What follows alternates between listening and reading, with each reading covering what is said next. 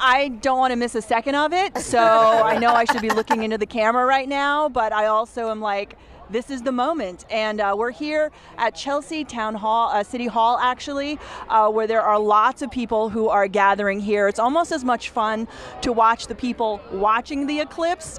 Uh, and I may have met the most excited person for the eclipse in all of the Boston area, uh, Lisa Santagate. Lisa, if you want to continue watching, I can interview you while you look. Come on over here. Lisa, first I want to show these earrings. Look, she has these adorable little eclipse earrings on. I, I mean, come on. That is enthusiasm. They're the phases of the moon, but it was the best that I could do today. Lisa, what are you feeling right now? You know, I was fortunate enough in 2001 when I lived in Zambia in South Central Africa to experience a total solar eclipse.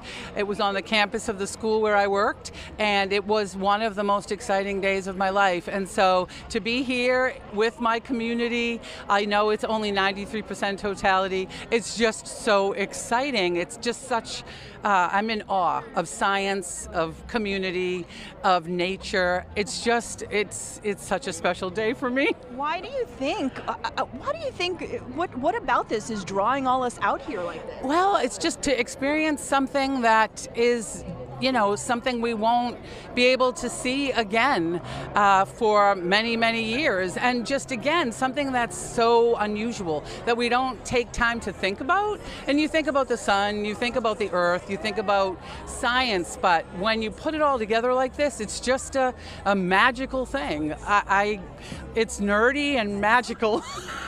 My favorite combination. Absolutely. I did hear someone in a re- news report say that this is a reminder that we're just a, in the solar system. Totally. It's just this reminder. Just a small little, you know, tiny bit of such a big thing. And I think it's something like tangible for us, like where we can appreciate science, even though there's so much a layperson doesn't know. I feel like it's like an accessible thing. Yeah. And that's what I love about it. Um, We both so, tried also yes. to go fashion wise. we did. with our our- Again, uh, mine's an homage to, to lunar eclipse. Okay, solar eclipse adjacent. It still works.